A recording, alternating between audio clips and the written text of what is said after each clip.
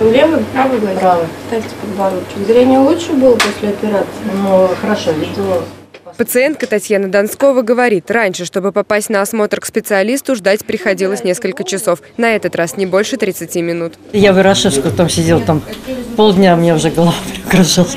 Народу очень было много. Сейчас пока нормально. Поликлиника переехала в новое помещение. Находиться в прежнем здании на Новосадовой стало попросту опасно.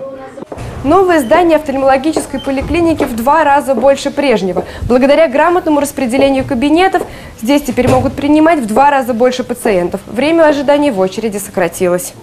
Мы провели комплекс мер э, специальных, и поэтому многих пациентов мы принимаем, что называется, с улицы, с колес, а очередь практически по любому вопросу не больше двух недель.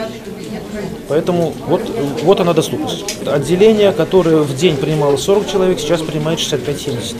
Лазерный и глаукомный центры, дневной стационар, передовое оборудование. В год поликлиника глазной больницы принимает больше 100 тысяч пациентов. На вооружении врачей и уникальные технологии. Это находка даже для всего Приволжского федерального округа. Это так называемое офтальмоэндокринологические отделения. Вы знаете, что идет рост заболеваний, заболеванием сахарный диабет, диабетическая сетчатка. Это осложнение встречается все больше и больше. Вот. Это потеря зрения. Это, в принципе, личная катастрофа для человека, который теряет зрение.